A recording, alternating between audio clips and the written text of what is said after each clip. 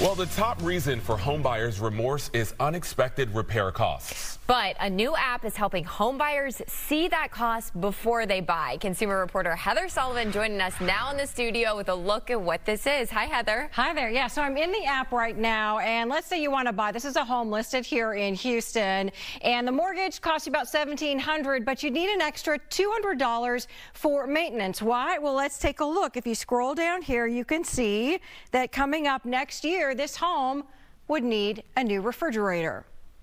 Buying this home years ago caught Tim Young a bit by surprise. I wouldn't call it a money pit, but I purchased a house that in the very short period after I purchased it, um, and in the 15 years, I immediately replaced the hot water heater, the entire HVAC system. I've replaced my roof. I've replaced all my windows. I fixed stucco. Now he uses the Nester app, which shows him which home maintenance projects are likely due and the estimated cost. I was a bit surprised at how much I just learned about my own home. Brendan Kenneally created Nester, saying it's kind of like a Carfax report for a house. Literally the number one regret of home of homeowners is unexpected costs of repairs and maintenance. Nester gathers information from MLS listings, realtors and sellers to show buyers when a home's roof, windows and appliances are due to be replaced based on their age and how much money to set aside each month. Instead of for this house in instead of con- thinking about hey I, I need to you know can I afford $1400 a month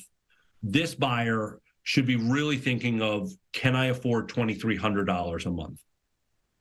And that's because in this house, you will see that due very, very soon is a boiler, a hot water heater, and a roof. Buyers can compare homes side by side. What we might be able to show them is well, actually, that house that's 350 might actually cost you less per month. And the reason for that is that Nester fund is significantly different. Kenneally says homes should still be inspected before buying, but he says Nester can help buyers decide whether to even make an offer and how much. And homeowners like Young can anticipate their next repair. I need to get another hot water heater because it was one of the first things that I fixed when I first moved to the home, and I, it, it frankly wouldn't have been something I would have thought of.